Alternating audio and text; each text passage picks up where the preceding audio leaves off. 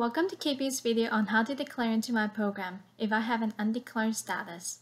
The purpose of this video is to help you understand if you fulfill your program declaration requirements and how to put in your declaration request. So let's start. So why should I declare into my program? Undeclared students should declare their program of study before they apply to graduate. Some programs require declaration earlier in order to enroll in program restricted courses.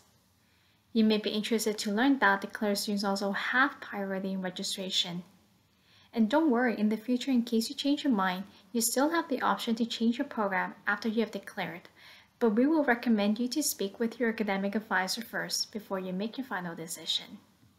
Before you start the process, make sure you check these two websites. They contain important information to you. The first one is a declaration website. You'll be able to find detailed information on program declaration instructions as well as the timelines. The second one is a university calendar. This is where you can find out if you meet your program declaration requirements before you put in your request. We'll look into each website a little further. The program declaration website contains a lot of the important information, for example, the timelines. For say, if you put in your program declaration request by June 1st, your record will be evaluated and processed before the fall registration period. And keep in mind not to rely on this video for the most up-to-date deadlines, since this is a pre-recorded video. This website also contains the link to the declaration request form.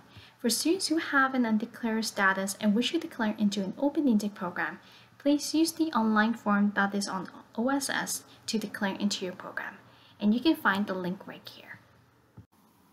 So the second place to check is a university calendar.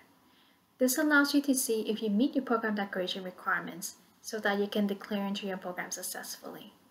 First of all, go to this website, calendar.kpu.ca, then click on to Faculties and Programs A to Z. On this page, you'll be able to find a list of all the KPU programs. And we will use the Accounting Diploma program as an example here. So on this page, you'll be able to find out if your program is open or limited intake. So for the Accounting Diploma program, it is considered as an open intake program. Keep this in mind as you will need this information for your declaration. And then on the same page, click onto Requirements, and you'll be able to see your declaration requirements.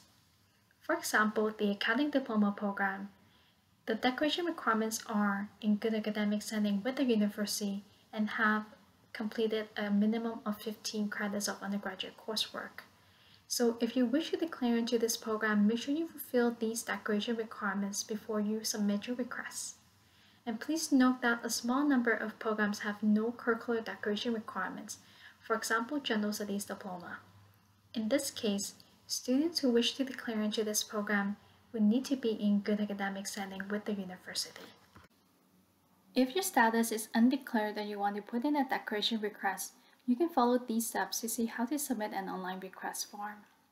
After you're logged on to online self-service, click under Student menu, Records, and Request for Program Declaration. Check the information under Projected Program. If the information is correct, you can click under Confirm Program.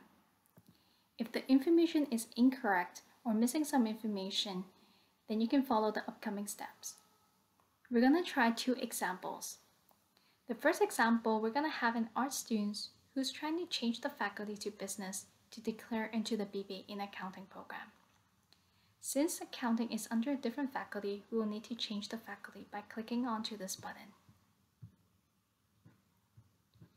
Then we're going to change the faculty to business and for it to list all the majors and then under major, we're going to then choose accounting and ask it to list all the programs. So here, then we can select BBA in accounting. If you need to add a minor or concentration, this is where you can do so by clicking onto this button. Otherwise, you can click onto Evaluate Declaration Requests. Unfortunately for the student, he or she does not meet the declaration requirements and so the student is not able to proceed further. Um, normally, there will be a button right here that says Submit Declaration Request if the student meets all the declaration requirements. So for this example, we'll suggest a student to contact the academic advisor to find out what he or she would need in order to declare into the program. So we're going to try another example. In the second example, it will be an art student who would like to declare into a criminology diploma. As criminology is not listed under the major, we'll need to add the major by clicking on to change major. And in here, make sure you double check on the calendar year. If it is not correct, you can use the pull down menu here to change it. Please make sure not to use the calendar year on this video since this is only a demonstration. So under major, we'll then choose criminology and click onto list programs and we'll choose criminology diploma program for this example. After that, we'll click on to evaluate declaration requests. For this student, the student meets the declaration requirements and therefore you will see in here that the student will be able to click on to submit declaration request. After you have submitted your program declaration request, you will then be brought to the confirmation page which shows you the status of your declaration request. If you're wondering what's the timeline for program declaration, make sure you rewind back to the beginning of this video where we talk about the program declaration website and also the timelines. What we just went through were the steps to declare into an open intake program. On the other hand, if you're hoping to declare into a limited intake program, we would suggest you to consult your academic advisor first. Program decoration is pretty straightforward as long as you follow the steps in the video. If you encounter any issues or have any questions, feel free to reach out to us. Here are some ways to contact us. We wish you the very best and good luck with your program decoration request.